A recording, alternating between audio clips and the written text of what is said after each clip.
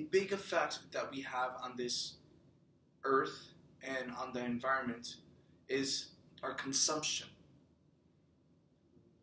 What do we buy as individuals? How much do we consume? And how does this consumption affect the environment? And the big thing is that we should become aware of what we buy and where our products and our goods are coming from. So, in the whiteboard, I have a depiction of what it would be to be a cow. So, I drew a cow. It's not the best picture, but I just want to show how mm, when a cow grows to its potential, when it's an adult, it's an adult in 77 weeks. So this is when it's eating its natural food, which would be grass. And this is because cows are known to be herbivores. But with all these transnational corporations like Tyson, who own the cows, have changed the dynamic of their food system by having the cow to eat corn. Corn, which has been genetically modified to be big. Okay? When initially corn was just a tiny plant. But then with GMO, genetically modified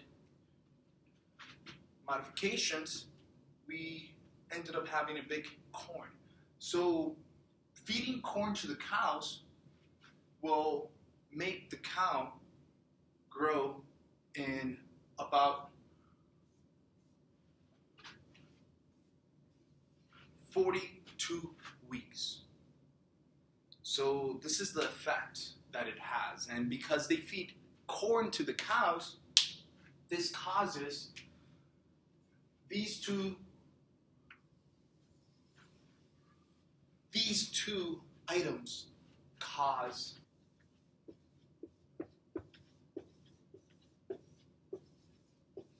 methane gas.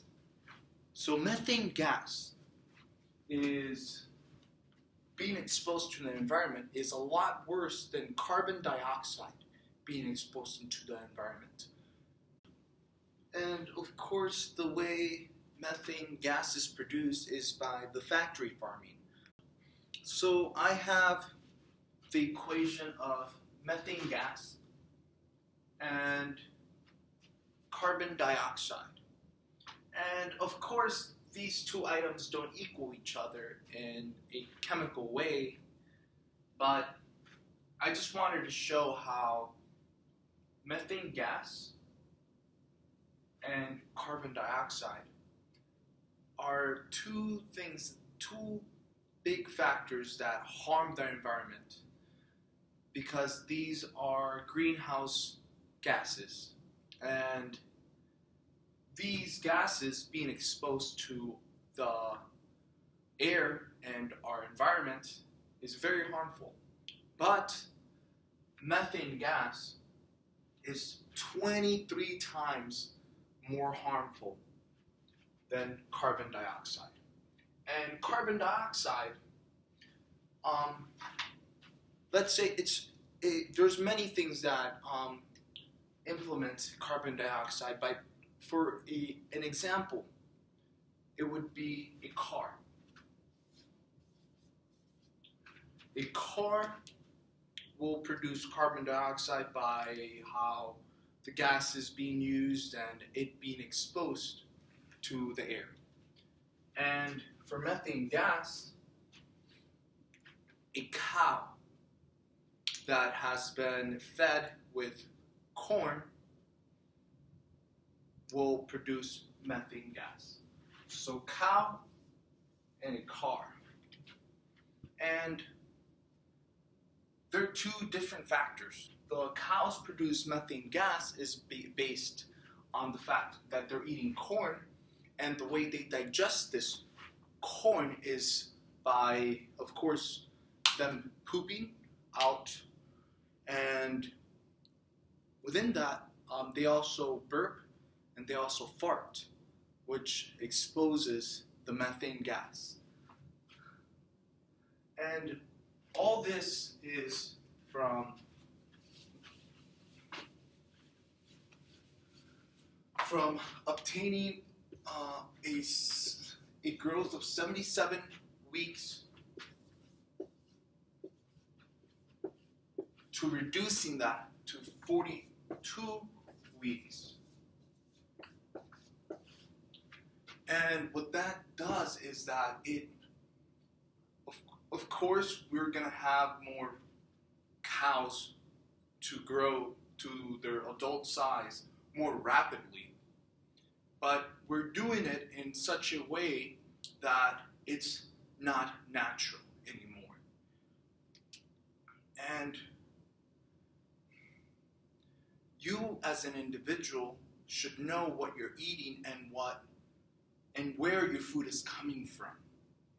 So a big part of of this idea is to know where your food is coming from and also if it's locally grown, if you buy from a co-op or a store that is local local to your area, for example, I shop at Seward Co-op, which has the, the produce that goes into Seward Co-op comes from Minnesota, Iowa, Wisconsin, Michigan, North Dakota, South Dakota, and I got this information from actually talking to a worker there and how a lot of the meat actually comes from northern Minnesota and even some regions in Canada, but everything is just there.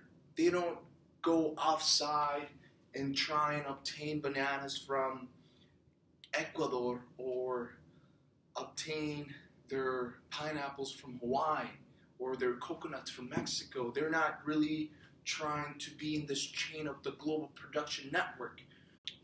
So there are many ways the consumption that an individual intakes can be reduced and can have a less harmful impact on the environment. Of course, we humans want to survive. And in order to survive, we do need to have some sort of consumption. We need to eat, and we need to survive in many ways, so we need to have a home. And the main thing is that you can reduce your consumption based on having awareness of where your food production, where your food is coming from. And just being aware of where it's coming from and how it's being made and how it gets into the grocery store that you purchased it in.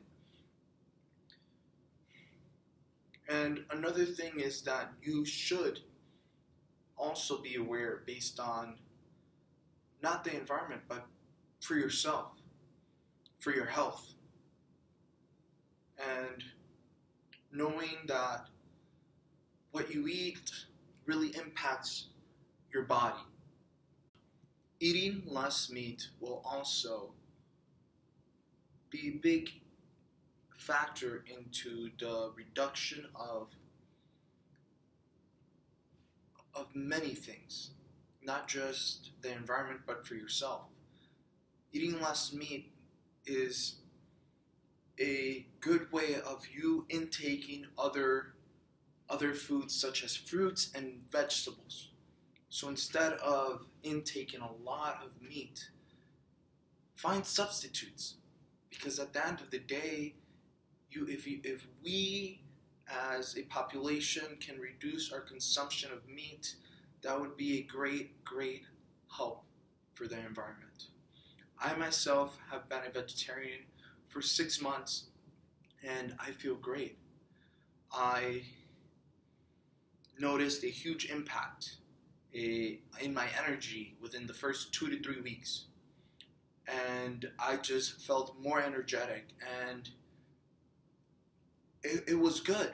And I won't lie and say that I haven't eaten any meat within the, the, this six months, but sure, I've I've eaten meat once a month within the last six months, and the big thing for me was that I did it for this, for the fact that I wanted to reduce my consumption of meat. And it's been a life changing decision for me. And I am very happy that I initiated and I took that idea of saying, hey, I don't want to eat meat anymore. And yeah, it's been it's been good. I feel a lot stronger and a lot of people have been somewhat judgmental, but something that I've learned is that we have been given this idea that we need to eat meat in our society, but it's not really necessary. Um, sure, we humans are omnivores, and we pretty much can eat anything, but everything comes down to the individual. We as individuals are the ones that can affect the world. And it's little by little. So, where are you buying your food? Where is your food coming from? What are you actually eating? Are the questions that you should ask yourself for the environment and for your health.